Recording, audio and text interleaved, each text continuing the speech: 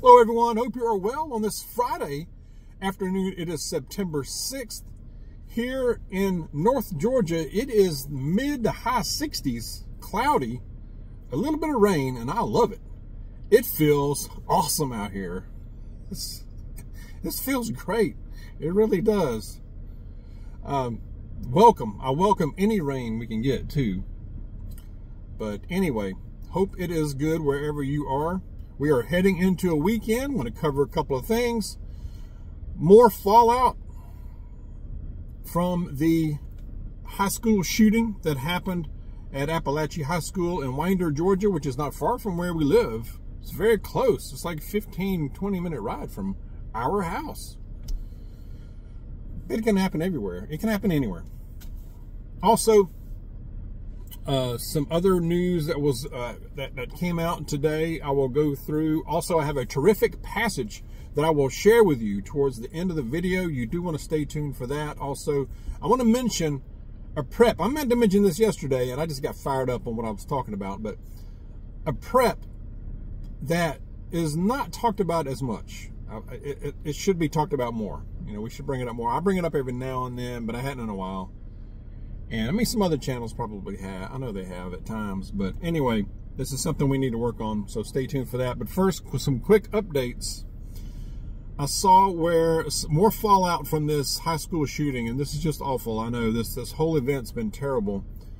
Uh, they canceled school for that the rest of this week, but it looks like the district's going to go back to school starting Monday that shooter, 14 years old, I still can't get over that. 14 year old kid, a guy, a boy, is going to be tried as an adult. Appeared in court this morning and was told, you know, what he's facing. And they told him the maximum sentence he could get, he could possibly get is life without the possibility of parole. At first, they said he could get the death penalty, but he is a juvenile. He's 14 years old. So apparently in Georgia, and I don't know all the laws, all the laws, but Georgia, but uh, but apparently since he's um, a, a juvenile, the maximum he can receive is life without parole. My guess, this is my prediction. My prediction is that he will be sentenced to life with the possibility of parole, which I do not agree with. I think he should get life without the possibility of parole. Now, in uh, the county he's in, Barrow County, I don't know. Uh, in Barrow County, he might get he might get the max. He might get there. Now, if it was in Athens, Clarke County here, it'd be the it'd be the least. It, it would be definitely be with the possibility of parole. Anyway, uh, that's what he's facing. The other big news on that is the father was arrested yesterday and or yet uh, late yesterday and he was charged with several things. Second degree murder involuntary manslaughter cruelty to children. He's facing a lot of stuff. You know which he probably should.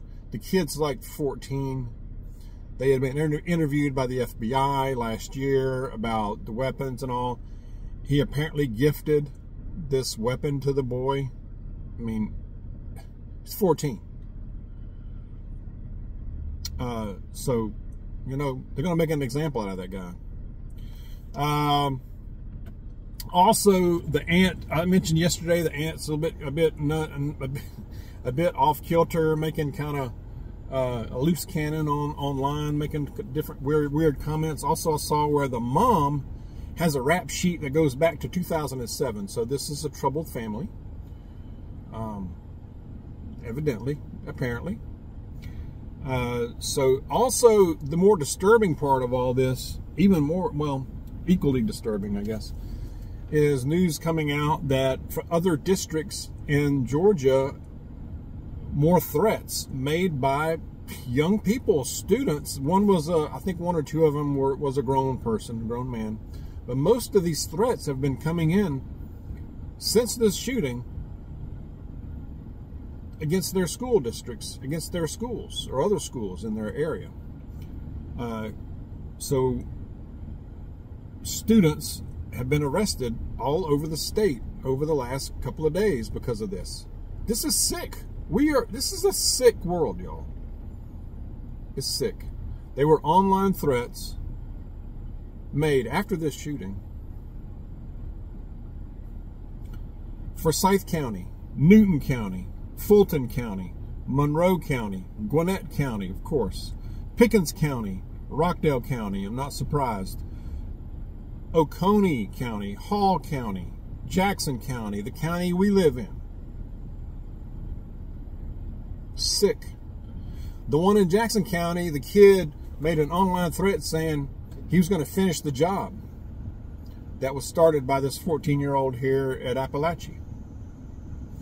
Good news is they've arrested all these people, hauling them in court before the judge. Now, you know, I don't know what they're going to get in Gwinnett or Clarke County, but I tell you what, if you do something like this in Jackson County or Barrow County, it ain't gonna be, it's probably not gonna go well for you. Uh, no, those judges will not play. They do not play. Hall County too, probably, in Oconee. I mean, I would not want to be thrown in jail in those places. All right. Uh, but but it's sick. I mean, this is a sick. It, it just really is, y'all. And, and and somebody said, well, they're probably wanting to doing this. The kids are probably doing this to, to cancel class, which they have. They got to take it seriously. That might be true, but dang, okay, so you're going to get your classes canceled for a while, but now you're going to be brought up on charges. You're going to have a record now. You might do some jail time. They should. They should be thrown in jail for a while. Teach them a lesson. Make an example out of them. Something's got to be done. The family unit has broken down. And what I mean by that is whether whether it's one parent, two parents, three parents, whether it's a blended family, I don't care. But there's there's there still could be discipline there can be values instilled in children. That's not happening. There's no role models, or very few role models. These kids are just out there willy-nilly, come under bad influence. And then when they grow up, heck, even before they grow up, they're doing this kind of stuff. It's foolishness. It's like there's no fear of consequences. There's no fear. There's got to be consequences swift, severe consequences. There must be. I know, I get fired up about this. Okay, moving on. Trump sentencing is delayed. It was going to be on the 18th of this month. It has been delayed to November 26th. That will be after the election, if there's an election. And if it's on the 26th and we have an election, will the election be decided by the 26th? That's another question. That's not guaranteed. Should be interesting. Okay, weak a weak jobs uh, report. August payrolls grew by less than expected numbers in the in the United States. But then they said unemployment is down 4.2%. I don't believe that for one half a second. Half a I don't believe it. Payrolls are down. So a weak, a very weak jobs report came out. It affected the stock market, of course. Um, there's an obvious slowdown in the economy that keeps that keeps happening. Keep your job if you're working, if you have to work. Keep your day job. Keep your job for now. I mean, do what you do what you can. All right. Um, food lines are growing. The food lines, uh, food banks, uh, the, the demand is growing. I hear from a lot of you, and also what I see out there in the community as well here. Um, that that continues to be a challenge. It's going to get worse. Also, grocery at the same time, grocery prices continue to to, to, to just go up.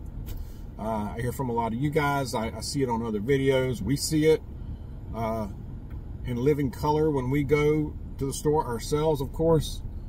Um, no matter what we do, you know, no matter if we just get, you know, even if you get, uh, if you try to, to go around to different stores and, and try to get a better deal, uh, you know, then you're using up gasoline too.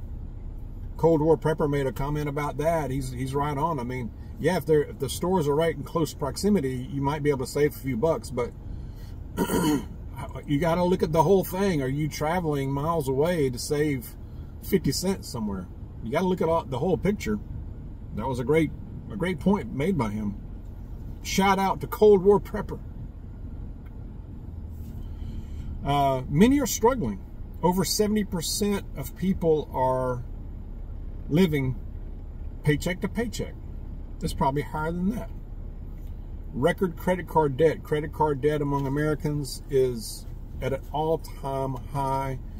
And I'm not surprised at that when I see the lines, the long lines that are still wrapped around uh, places like um, Starbucks, Chick fil A, you name it. I mean, it's, it's, I saw where some chicken place, some new chicken, Dave's Chicken or something like that, opened in Conyers, Georgia. Uh, a week or so ago, and there were lines and people wrapped around it and hours to wait. Man, okay. I, I, you know, I, I'd wait till wait till it dies. Wait till the, the, the newness wears off or something.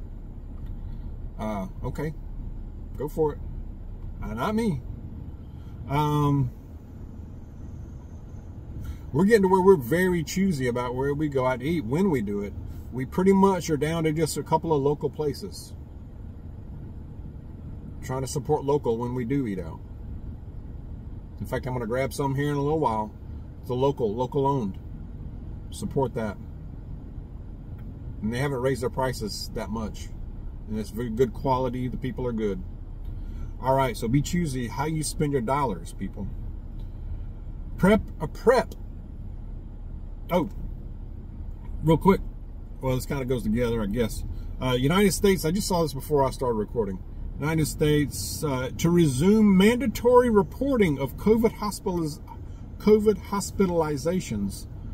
Voluntary reporting had dropped down to 33%. Well, yeah, I mean, it's pretty much endemic. I mean, it's like a cold now. In most cases, now I know there are uh, cases that, that really are tough on people, so it's all individual. I've heard from some of you that it just knocked you flat on your back for weeks. And that is going around. I think there's different little strains going around. Um, I think the majority of the strains are not super severe. But they said that there's a summer wave that's been going on. Yes, there has.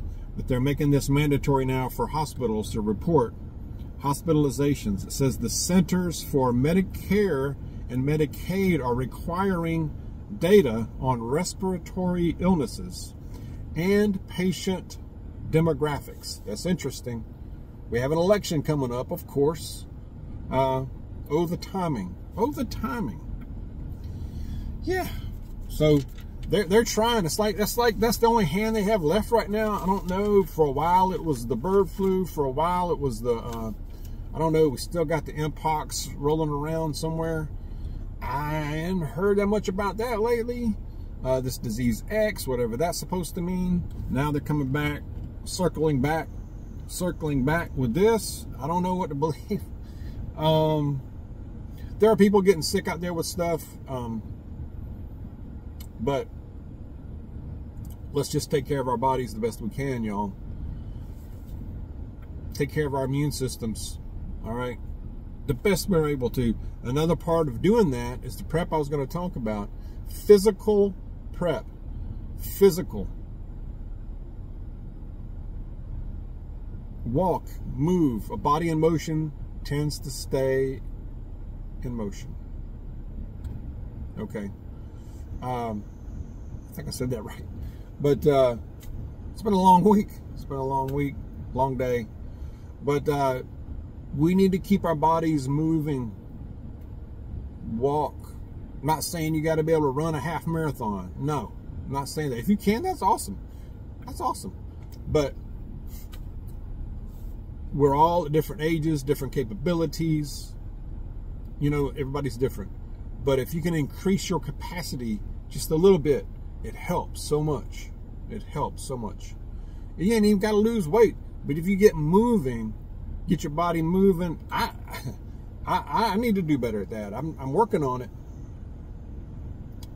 Working on it. Walking the doggies a little more. Get them walking, get me walking. Mrs. Dawg is working on it too. She's doing well.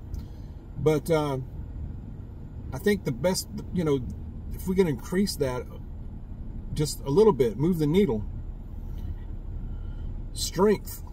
I'm not saying you got to go out and lift weights or something like that, but even just um, cardiovascular wise, walking, moving. If, if depending on what goes on, if something were to go down, electricity, power grid, even for even temporarily, you might have to walk for a while. You might have to ride a bike. If you got a bike, ride a bike instead of, you know, up to the corner store or something like that. How good a shape are you in? Are you going to be in trouble? And you walk up some, some stairs for a while. You walk up and down some stairs and not be taken out for a while, you know? You know what I mean? So, um, I'm not a medical expert, but I'm just saying if we can increase our uh, physical fitness just a little bit, it makes it makes a huge difference. All right, I'm going to go to a passage from. This is a really good one. This one spoke to me. I guess because I'm older, you'll see. Uh, First Timothy, First Timothy chapter five. First Timothy. Um, the book was a uh, letter written from Paul to Timothy. Instruction concerning various duties towards the older and the younger. Now, this particular one is, again, chapter 5, first few verses, First Timothy. Do not sharply rebuke, do not sharply rebuke an older man, but rather appeal to him as a father, to the younger men as brothers, the older women as mothers, and the younger women as sisters in all purity.